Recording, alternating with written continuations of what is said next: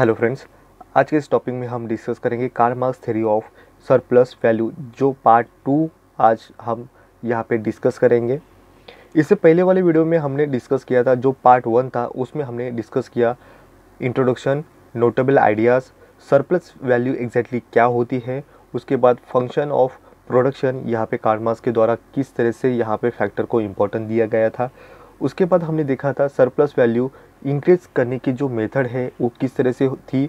उसके बाद हमने देखा कैपिटलिज्म क्या है और स्टेजेस ऑफ़ सोसाइटी को हमने एक्सप्लेन किया था। आज के इस पार्ट टू में हम स्टार्ट करेंगे अजम्पशन के साथ।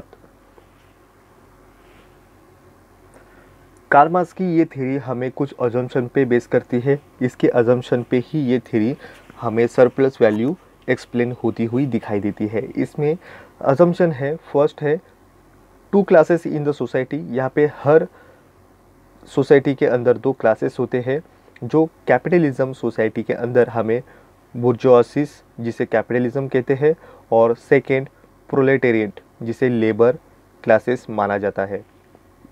सेकेंड यहाँ पे टू टाइप्स ऑफ़ कैपिटल को माना गया है first constant capital second variable capital third labour is a homogeneous and the perfectly mobile जो लेबर है, उनकी जो स्किल है, ये होमोजीनियस है और वो परफेक्टली मोबाइल होते हैं। उनको एक जगह से दूसरी जगह इजीली यहाँ पे मूव कर सकते हैं। नेक्स्ट यहाँ पे अजम्पन बनता है perfect competition in the economy economy के अंदर परफेक्ट कंपटीशन होती हुई हुई दिखाई देती है। यहाँ पे हमारा नेक्स्ट पॉइंट बनता है national income is distributed in the terms of the wages and the profit national income को दो मेथड के साथ यहाँ पे डिस्ट्रीब्यूशन किया जाता है। जो वेजेस है, वो लेबर को मिलेंगे और जो प्रॉफिट है, ये कैपिटलिस्ट को मिलेगा।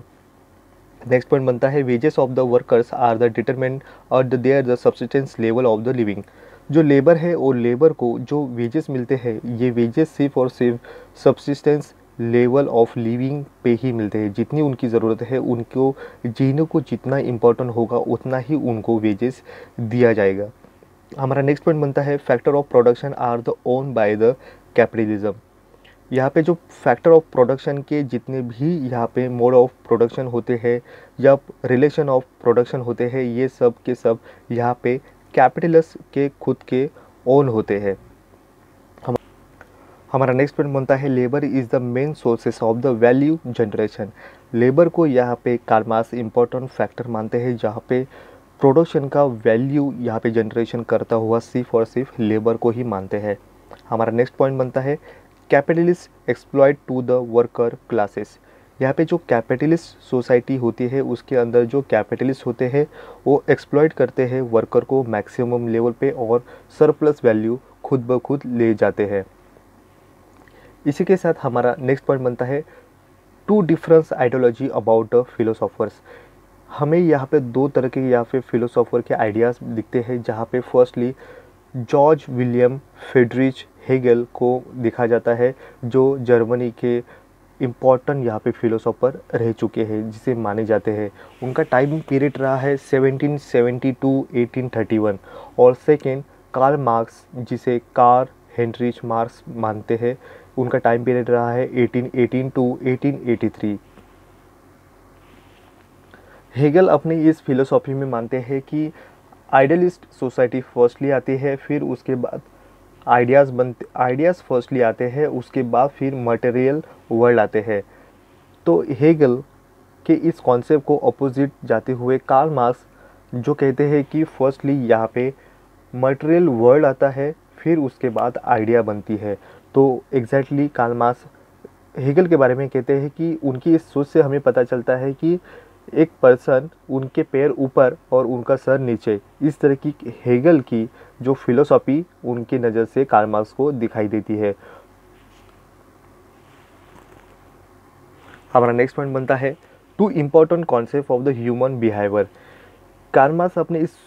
कॉन्सेप्ट में या हम कहें इस थेरी में दो तरह की इम्पोर्टेंट कॉन्सेप्ट जो ह्यूमन बिहेवियर को लेके चलते हैं, जिसमें मोड ऑफ़ प्रोडक्शन और रिलेशनशिप ऑफ़ द प्रोडक्शन को इम्पोर्टेंट मानते हैं। जहाँ पे मोड ऑफ़ प्रोडक्शन में distribution of the labour use of the resources और टेक्नोलॉजी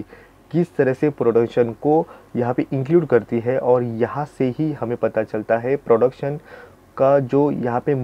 इम्पोर्टेंट जो इंक्रीज करता है, इस मोड ऑफ़ प्रोडक्शन से ही दिखाई देता है। जहाँ पे ये जो मोड ऑफ़ प्रोडक्शन है, ये रिलेट करता है सोशली पॉलिटिकली और स्पिरिचुअली जिस तरह से यहाँ पे वैल्यू यहाँ पे ह्यूमन लाइफ में इम्पोर्टेंट होते हैं, ये खुद के होंगे। यहाँ पे जो मोड ऑफ़ प्रोडक्शन है, जहाँ पे मीन्स ऑफ़ प्रोडक्शन बनते हैं land industry farm factory equipment buildings factory ये खुद ब खुद यहाँ पे कैपिटलिस्ट या लॉर्ड के हो। कैपिटलिस्ट अपने खुद के होने के साथ साथ यहाँ पे मोड ऑफ़ प्रोडक्शन खुद ब खुद यहाँ पे बनाते हैं और अपनी वैल्यू यहाँ पे सोसाइटी के अंदर बनाते हैं। फिर यहाँ पे जो चेंजेस यहाँ पे नहीं करने की वजह, खुद अपनी ओनरशिप यहाँ पे बरकरार रखने की कोशिश करते हैं। बट कालमार्क्स कहते हैं कि ये जो सोसाइटी है, ये चेंज होती होगी टाइम टू टाइम यहाँ पे चेंजेस होंगे, उनके जो मोड ऑफ़ प्रोडक्शन भी चेंज होंगे और यहाँ पे जो रिलेशनशिप है जो यहाँ पे बनेंगे, ये भी चेंज होते हुए दिखाई देंगे। जो यहाँ पे दो क्लासेस की जो स्ट्रक्चर बनेंगे अपर में जो मोड ऑफ़ प्रोडक्शन उनके खुद के होंगे और जो लोअर में क्लास होंगे, उनके पास सिर्फ़ और सिर्फ़ उनका वेजेस होंगे और अपनी मेहनत के बेचेंगे, तभी उनको वेजेस मिलेंगे। कार्मास कहते हैं कि यहाँ पे जो रिलेशनशिप ऑफ़ प्रोडक्शन होगा, इसमें भी यहाँ पे रिलेशन दिखाई देगा। यहाँ पे जो वर्कर होते हैं, उनकी जब एक्सप्लोटेशन यहाँ पे हाई लेवल में जाके होगी एक ऐसे लेवल में जाके, जाने के बाद फिर यहाँ पे वो ऑब्जेक्शन लेने के बाद ही यहाँ पे रिलेशन ऑफ़ प्रोडक्शन भी चेंजेस होते हुए दिखाई देंगे। इसमें ही यहाँ पे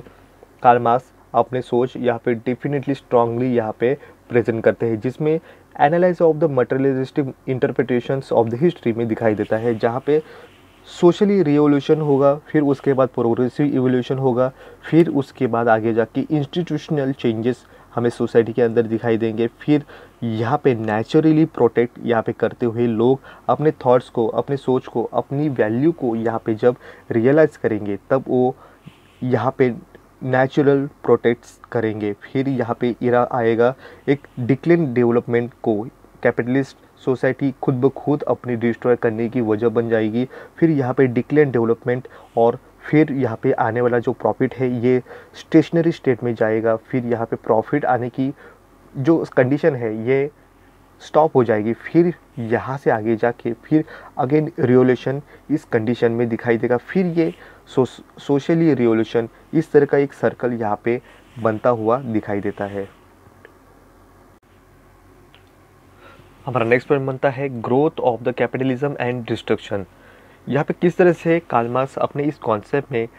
कैपिटलिज्म सोसाइटी की किस तरह से राइज होती है, किस तरह से वो अपनी ग्रोथ बनाते हैं और किस तरह से फिर एक ऐसे लेवल के बाद फिर वो किस तरह से डिस्ट्रक्शन कंडीशन में यहाँ पे तबाह हो जाती हुई, यहाँ पे कैपिटलिज्म सोसाइटी किस तरह से बनती है, इसकी जो पूरी प्रोसेस होती है एक क्या यहाँ पे रंग लाती है, ये देखने के लिए इस growth of capitalism and destruction को हमें समझना इम्पोर्टेंट बन जाता है।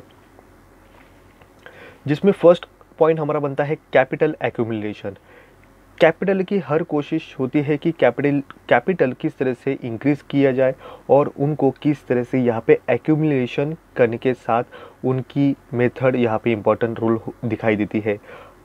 कैपिटलिस्ट अपनी इस सोच में हर तरीके से यहाँ पे कैपिटल को मैक्सिमम लेवल में यहाँ पे एक्यूमुलेशन करे, यही सोच से यहाँ पे दिखाई देते हुए दिखाई देते हैं। तो इस सोच में जितनी भी मैक्सिमम लेवल पे यहाँ पे सरप्लस वैल्यू क्रिएट होगी, उसे, उस कैपिटल को यहाँ पे एक्यूमुलेशन करते हुए दिखाई देते हैं कैपिटलिस्ट सेकेंड पॉइंट हमारा बनता है कैपिटल इन्वेस्टमेंट इस सोच में हमें दिखाई देता है कि किस तरह से कैपिटलिस्ट इन्वेस्टमेंट करता है, जो कांस्टेंट यहाँ पे जो कैपिटल है, इसमें ही इन्वेस्ट करता हुआ दिखाई देता है, जिसमें टेक्नोलॉजी हो फैक्ट्री हो या इक्विपमेंट हो, इसमें ही यहाँ पे मैक्सिमम लेवल की जो कैपिटल इन्वेस्टमेंट करता हुआ दिखाई देता है और एक हर तरीके से यहाँ पे इन्वेस्टमेंट करते हुआ बट यहाँ पे जो वेरिएबल जो कैपिटल है, इनमें इन्वेस्टमेंट नहीं करता हुआ दिखाई देता है। थर्ड पॉइंट हमारा बनता है यहाँ पे importance factors of the production value यहाँ पे फैक्टर ऑफ़ प्रोडक्शन के यहाँ पे तीन यहाँ पे कंपोनेंट को माना जाता है, जहाँ पे इस इक्वेशन में हमें पता चलता है कि O is equal C plus V plus S यहाँ पे O value of the total production जो टोटल आउटपुट यहाँ माना जाता है सी कांस्टेंट कैपिटल को माना जाता है वी वेरिएबल कैपिटल और एस यहाँ पे सरप्लस वैल्यू इन तीनों का जो यहाँ पे इंक्लूड यहाँ पे टोटल माना जाता है टोटल प्रोडक्शन जहाँ पे प्रोडक्शन की वैल्यू जनरेट होती हुई दिखाई देती है। हमारा नेक्स्ट पॉइंट बनता है रेट ऑफ़ एक्सप्लोटेशन या रेट ऑफ़ सरप्लस वैल्यू इन दोनों का मीनिंग एक ही है। यहाँ पे एक्सप्लोटेशन जितना करे या सरप्लस वैल्यू मैक्सिमम लेवल की ले, यही से ही यहाँ पे कैपिटलिस्ट को मिलने वाला जो प्रॉफिट है, यही माना जाता है। तो इसे एक्सप्लेन करते हैं S dash is equal S upon V यहाँ पे एस डैश का मतलब होता है rate of exploitation S surplus value V variable capital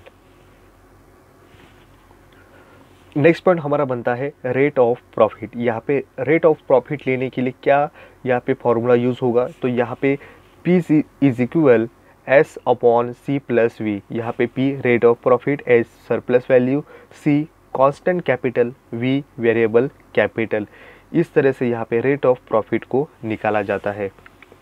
हमारा नेक्स्ट पॉइंट बनता है organic composition of the capital यहाँ पे G is equal C upon C plus V यहाँ पे G organic composition of the capital C constant capital V variable capital यहाँ पे organic composition of capital इस concept में हमें पता चलता है कि इन्वेस्टमेंट किया जाता है, जो कैपिटलिस्ट इन्वेस्ट करते हैं कांस्टेंट कैपिटल में, जिसमें फैक्ट्री है मशीन है टूल्स है बिल्डिंग है इक्विपमेंट है, इनमें भारी मात्रा में मैक्सिमम सरप्लस लेने की जो कोशिश होती है तो इसमें कांस्टेंट कैपिटल में यहाँ पे इन्वेस्टमेंट किया जाता है, जहाँ पे ऑर्गेनिक कंपोजिशन ऑफ़ कैपिटल और प्रॉफिट इनमें इनवर्स रिलेशनशिप हमें दिखाई देता है। अगर ऑर्गेनिक कंपोजिशन ऑफ़ कैपिटल अगर बढ़ता है तो प्रॉफिट यहाँ पे कम होता है, क्योंकि यहाँ पे लेबर को कम किया जाता है फैक्ट्री के अंदर से। तो यहाँ पे ऑर्गेनिक कंपोजिशन ऑफ़ कैपिटल इसे यह अगर कम होता है तो ये प्रॉफिट मैक्सिमम लेवल में जाता हुआ दिखाई देता है, जहाँ पे लेबर ही यहाँ पे वैल्यू जनरेट करने वाला एक इंपॉर्टेंट फैक्टर यहाँ पे काल मार्क्स मानते हैं। तो इनमें दो दो दोनों में रिलेशनशिप है, ये इन्वर्सली यहाँ पे दिखाई देता है। तो यहाँ पे कम करते हुए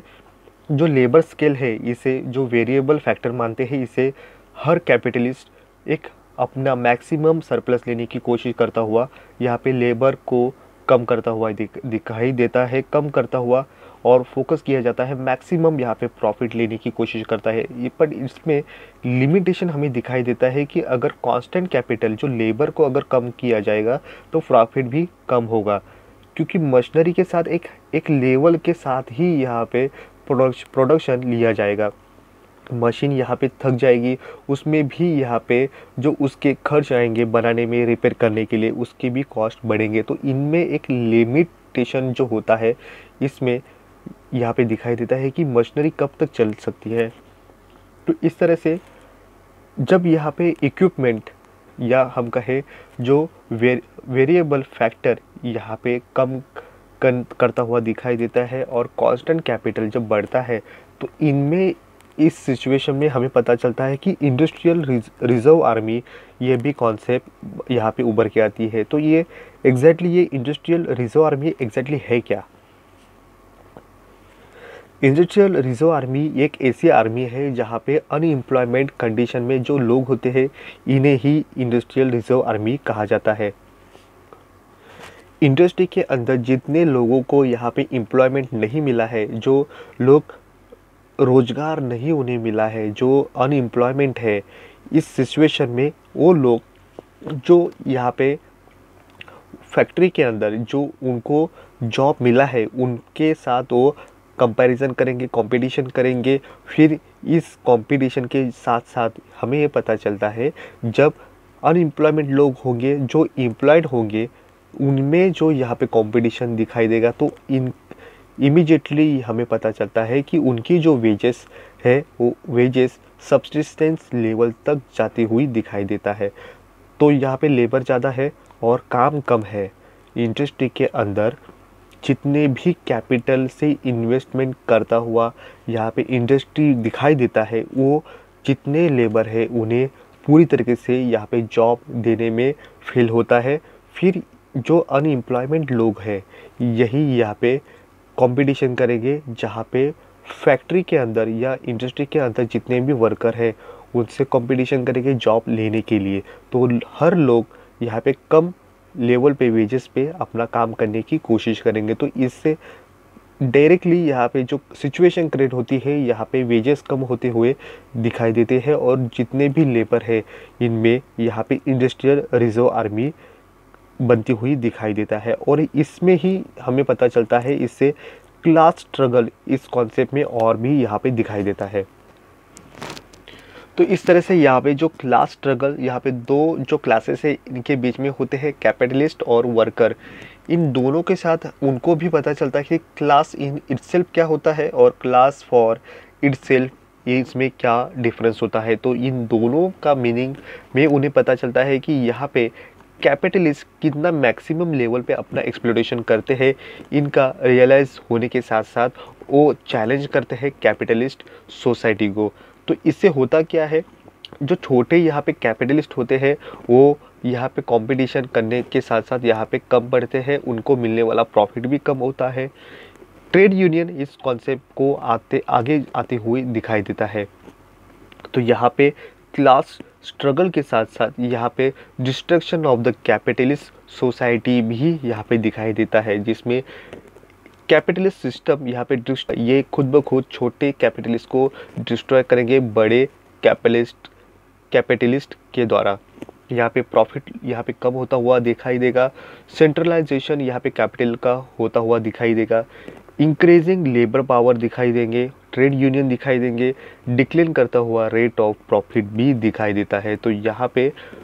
मैक्सिमम लेवल पे यहाँ पे प्रॉफिट लेने की, जो सरप्लस लेने की कोशिश ही यहाँ पे यहाँ पे कैपिटलिस्ट सोसाइटी को डिस्ट्रॉय करने की कोशिश, तबाह करने की जो यहाँ पे प्रोसेस है, वो खुद ब खुद कैपिटलिस्ट सोसाइटी बनाती है। इस तरह से हमें पता चलता है। हम अब देखेंगे कि किस तरह से इस डायग्राम के साथ कार्ल मार्क्स हमें एक्सप्लेन करते हैं किस तरह से सरप्लस वैल्यू बढ़ने के साथ साथ एक कैपिटलिस्ट सोसाइटी किस तरह से यहाँ पे डिस्ट्रॉय होती है और उनको यहाँ पे मैक्सिमम यहाँ पे प्रॉफिट लेने की क्या कोशिश यहाँ पे उनकी होती है, ये हमें इस डायग्राम के साथ पता चलता है और किस तरह से यहाँ पे अनएम्प्लॉयमेंट कंडीशन किस तरह से होती है कैपिटलिस्ट सोसाइटी के अंदर और जो यहाँ पे कैपिटलिस्ट जो लोग होते हैं, वो किस तरह से मैक्सिमम लेवल की यहाँ पे प्रॉफिट लेने की कोशिश करते हैं। तो यहाँ पे इस डायग्राम में एक्स एक्सिस पे लेबर है और वाई एक्सिस पे वेजेस लेवल हमें दिखाई देता है। जो यहाँ पे डब्लू आर वन यहाँ पे जो कर्व हमें दिखाई देता है, ये कर्व हमें एक्सप्लेन करता है सप्लाई ऑफ़ लेबर तो यहाँ पे हमें दो तरह के यहाँ पे डिमांड कर्व दिखाई देते हैं जो लेबर के होते हैं। डी वन डी वन यहाँ पे फर्स्टली हमारा फ़र्स्ट डिमांड कर्व यहाँ पे लेबर का है और डी टू या हम कहें डी टू जिसे ए बी से भी हम एक्सप्लेन करेंगे, जो एक्सप्लेन करता है सेकेंड यहाँ पे डिमांड कर्व ऑफ़ लेबर तो यहाँ पे जब दोनों भी एक दूसरे को फर्स्टली यहाँ पे इंटरसेक्ट करते हैं तो इस पॉइंट में हमें पता चलता है कि यहाँ पे लेबर को एल वन यहाँ पे एम्प्लॉयमेंट यहाँ पे लिया जाता है और वेजेस उन्हें ओ डब्ल्यू दिया जाता है और पूरा टोटली यहाँ पे जो प्रोडक्शन लिया गया है, वो है ओ डी वन इस लेवल तक यहाँ पे फुल प्रोडक्शन कैपेसिटी में लिया गया है। तो यहाँ पे पता चलता है कि जब कैपिटलिस्ट, जहाँ पे मैक्सिमम लेवल की और भी यहाँ पे सरप्लस लेने की जब कोशिश करता है इसमें हमने बेफोर और आफ्टर इस कंडीशन को यहाँ पे हमें एक्सप्लेन की करते हैं। यहाँ पे बिफोर कंडीशन यहाँ पे total production O, L one, E one, D one, ये टोटल प्रोडक्शन यहाँ पे लिया जाता है, जहाँ पे लेबर को वेजेस ओ डब्ल्यू यहाँ पे दिया जाता है, और ये टोटल प्रोडक्शन जो O L one E one D one जो है, इसमें अगर हम O L one E one W ये हम अगर माइनस करेंगे, यहाँ पे प्रोडक्शन करने के लिए आने वाला जो कॉस्ट है, या हम कहें वेजेस को लेबर को दिए जाते हैं, इनको हम इस पोर्शन में हम एक्सप्लेन करते हैं। तो इसमें O L one E one D one ये total production O L one E one D one total production और O L one E one W जो यहाँ पे वेजेस और प्रोडक्शन के लिए आने वाला कॉस्ट को हम एक्सप्लेन करते हैं। अगर हम टोटल जो प्रोडक्शन है O L one E one D one को हम O L one E one W को माइनस करेंगे तो ये W E one D one जो पोर्शन आता हुआ ट्रायंगल जो कंडीशन हमें दिखाई देता है, ये यहाँ पे सरप्लस वैल्यू कैपिटलिस्ट लेते हुए दिखाई देते हैं। तो यहाँ पे इस लेवल पे जो वेजेस दिए जाते हैं ओ डब्लू दिया गया है। आफ्टर कंडीशन के बाद हमें पता चलता है कि जहाँ पे एक ऐसे पिक पे जाके यहाँ पे सरप्लस वैल्यू कैपिटलिस्ट लेते हैं, जहाँ पे एक कम लेवल पे यहाँ पे लेबर थोड़े इंक्रीज करेंगे और मैक्सिमम यहाँ पे जो इक्विपमेंट है, या हम टेक्नोलॉजी को फोकस करता हुआ दिखाई देता है कैपिटलिस्ट तो इनमें आने वाला जो जो यहाँ पे सरप्लस है, वो किस तरह से होगा? जो फर्स्टली हमारा जो सरप्लस था, ये ट्रायंगल में था। इसके बाद यहाँ पे टोटल प्रोडक्शन यहाँ पे थोड़ा सा यहाँ पे लेबर को बढ़ा दिया गया। ओ, एल टू इस तरह से यहाँ पे लेबर को इंक्रीज करता हुआ यहाँ पे हमें दिखाई देता है। तो, तो total production O L two E two D two एक बड़ा एक ऐसा लेवल तक यहाँ पे प्रोडक्शन लिया गया। फिर यहाँ पे वेजेस उतने ही दिए गए हैं। यहाँ पे ओ डब्लू यही यहाँ पे वेजेस दिए गए हैं लेबर को। तो यहाँ पे टोटल कॉस्ट और वेजेस का जो कंडीशन है ये हमें किस तरह से मिलता है? O L two E two W इसी पोर्शन में आने वाला प्रोडक्शन का कॉस्ट और वेजेस उतना ही प्रीवियस ईयर में जितना दिया गया, जितना प्रीवियसली था, वही यहाँ पे वेजेस दिया गया। बट यहाँ पे सरप्लस में चेंजेस इतना चेंजेस हमें दिखाई देता है कि जो सरप्लस वैल्यू जो टेक्नोलॉजी के साथ साथ इतना टेक्नोलॉजी का यूज़ करने के साथ जो मिला हुआ सरप्लस है, वो हमें दिखाई देता है। तो यहाँ पे टोटल प्रोडक्शन जो O L two E two D two इनमें से हम माइनस करेंगे O L two E two W इनमें माइनस करने के साथ हमें W E two D two ये जो ट्रायंगल बड़ा हुआ, ये पोर्शन हमें सरप्लस वैल्यू मैक्सिमम लेवल पे यहाँ पे टेक्नोलॉजी यूज़ करते हुए कम लेवल पे हमने यहाँ पे लेबर इंक्रीज करता हुआ यहाँ पे कैपिटलिस्ट किस तरह से बिना मेहनत करते हुए यहाँ पे प्रॉफिट किस तरह से लेता है, यही पोर्शन को यहाँ पे सरप्लस वैल्यू माना जाता है, जो असल में उसका हकदार यहाँ पे लेबर होता है, लेबर ही वैल्यू जनरेट करता है बट बस उसको उतना वेजेस ही मिलता है, जो उसकी सब्सिस्टेंस लेवल का ही वेजेस उस पर जो वेजेस है उतना ही उसको मिलता है बट ये प्रॉफिट मैक्सिमम लेवल की यहाँ पे जो यहाँ पे लेबर को नहीं मिलता बट यहाँ पे जो कैपिटलिस्ट है, उनको मिलता है। जो कैपिटलिस्ट यहाँ पे प्रॉफिट इंटरेस्ट और रेंट इनका इंक्लूड यहाँ पे सरप्लस को माना जाता है, जो कैपिटलिस्ट सोसाइटी के अंदर जो कैपिटलिस्ट है, उन्हें मिलता है बट जो मेन जो हकदार है लेबर उनको कुछ भी नहीं मिलता है बट यहाँ पे उनका वेजेस जो सब्सिडेंस लेवल में है, वहीं पे ही उनको गुजारा करता, करना पड़ता है। तो इनमें जो डिफरेंस है, ये टोटल जो प्रोडक्शन है, या हम कहें जो नेशनल इनकम है, इनमें जो डिस्ट्रीब्यूशन हुआ है दोनों क्लास के अंदर, ये जो डिस्ट्रीब्यूशन है अनफेयरली यहाँ पे किया गया है, जहाँ पे लेबर के साथ होने वाला अनफेयरली जस्टिस दिखाई देता है। तो यही जो सरप्लस कॉन्सेप्ट यहाँ पे हमें पता चलता है कि कार मास किस तरह से लेबर के फेवर में है और कैपिटलिस्ट सोसाइटी किस तरह से यहाँ पे लोगों का यहाँ पे इंपॉर्टेंट रोल नहीं निभाती है और किस तरह से वो हार्मफुल होती है सोसाइटी के लिए और यहाँ पे जो लेबर है, ये लेबर ही इम्पोर्टेंट रोल निभाते हैं बट उनको यहाँ पे जस्टिस नहीं मिलता। इसी तरह से कार्ल मार्क्स ने अपने इस कॉन्सेप्ट में जिस तरह से लेबर की साइड को लेके हमें पॉइंट ऑफ़ व्यू देते हैं बट यहाँ पे जो कैपिटलिस्ट सोसाइटी किस तरह से डिस्ट्रॉ होगी और किस तरह से ये हार्मफुल सोसाइटी के लिए बनती है, इस तरह से ही उनकी सोच हमें इस कॉन्सेप्ट में दिखाई देती है। बट उनके इस व्यू ऑफ़ पॉइंट को लेके कई इकोनॉमिक्स यहाँ पे क्रिटिस करते हुए दिखाई देते हैं। तो इनकी इस सोच में हमें फ़र्स्ट पॉइंट मिलता है this theory given too much important of for labour इस थेरी में सिर्फ़ और सिर्फ़ यहाँ पे लेबर को ही यहाँ पे इम्पोर्टेंट माना जाता है और यही कॉन्सेप्ट में यहाँ पे कारमास करते हुए हमें दिखाई देते हैं। हमारा नेक्स्ट पॉइंट बनता है focus only labour and their the value they generate यहाँ पे जो लेबर है, वो लेबर किस तरह से फोकस किया गया है और उनका वैल्यू कितना इम्पोर्टेंट है, जो प्रोडक्शन की वैल्यू वो बनाते हैं और जो इसी पॉइंट को लेके ही यहाँ पे कालमास हमें एक्सप्लेन करते हुए दिखाई देते हैं। हमारा नेक्स्ट पॉइंट बनता है neglect the vision of the capitalism Karl Marx अपने इस कॉन्सेप्ट में सिर्फ़ और सिर्फ़ यहाँ पे क्रिटिस करते हुए ही कैपिटलिज्म सोसाइटी को करते हुए दिखाई देते हैं बट उनका विजन जो कैपिटलिज्म का होता है, जो मोर प्रोडक्शन इफ़िशियंसी इस कॉन्सेप्ट को यहाँ पे कारमार्क्स के द्वारा यहाँ पे नेग्लेक्ट किया गया, दिखाई देता है। हमारा नेक्स्ट पॉइंट बनता है this theory enable to the solve the problems of the society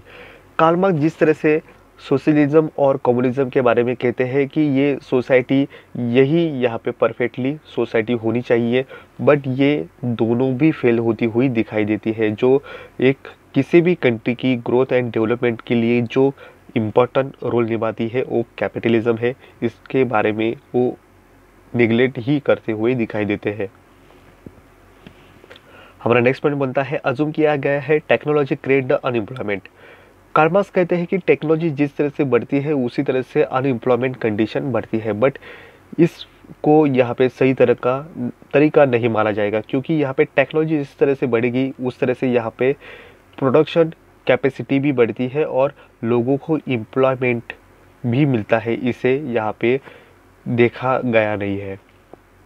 हमारा नेक्स्ट पॉइंट बनता है अजूम किया गया है perfect competition in the economy Karl Marx कहते हैं कि परफेक्ट कंपटीशन इकोनॉमी मार्केट के अंदर दिखाई देती है बट ये किसी भी इकोनॉमी में परफेक्टली कॉम्पिटिशन सिचुएशन नहीं दिखाई देती है। हमारा नेक्स्ट पॉइंट बनता है अजूम किया गया है labour is a homogeneous and the perfectly mobile यहाँ पे लेबर जो है, वो पूरी तरीके से होमोजीनियस है, उनकी जो स्किल होती है, वो सभी लेबर के साथ साथ हमें सेम कंडीशन में दिखाई देगी, जो यहाँ पे रियलिस्टिक नहीं लगता। उसके बाद बताया गया है परफेक्टली मोबाइल यहाँ पे लेबर को माना गया है कालमार्स के द्वारा। लेबर यहाँ पे परफेक्टली मोबाइल कंडीशन में नहीं होते हैं, वो एक जगह से दूसरी जगह जाने के लिए उनकी जो अटैचमेंट होती है, ये यहाँ पे बीच में आती है तो इसको यहाँ पे कालमार्स के द्वारा यहाँ पे इग्नोर किया गया है। हमारा नेक्स्ट पॉइंट बनता है this theory focus only communism Karl Marx अपने इस कॉन्सेप्ट में एक यूटोपिया जो कॉन्सेप्ट है उनका, जो एक सपनों का शहर, किस तरह से हर लोगों के साथ इक्वली ट्रीटमेंट होगा, किस तरह से यहाँ पे नेशनल इनकम यहाँ पे इक्वली डिस्ट्रीब्यूशन किया जाएगा, इसको ही फोकस में करते हुए कम्युनिज्म को यहाँ पे फोकस करते हुए ही दिखाई देते हैं। और लास्ट हमारा यहाँ पे जो क्रिटिस यहाँ पे है, वो है अजूम किया अजूम किया गया है not need to capitalism for the economic development Karl Marx कहते हैं कैपिटलिज्म सोसाइटी यहाँ पे किसी भी कंट्री की इकोनॉमिक डेवलपमेंट में हेल्पफुल नहीं होगी है। ये सिर्फ़ और सिर्फ़ हार्मफुल कंडीशन में ही दिखाई देगी। तो तो इस तरह से कार्मास जो ये पॉइंट ऑफ़ व्यू यहाँ पे सही साबित नहीं होता हुआ ही दिखाई देता है। तो आज के इस वीडियो में बस इतना ही। Thank you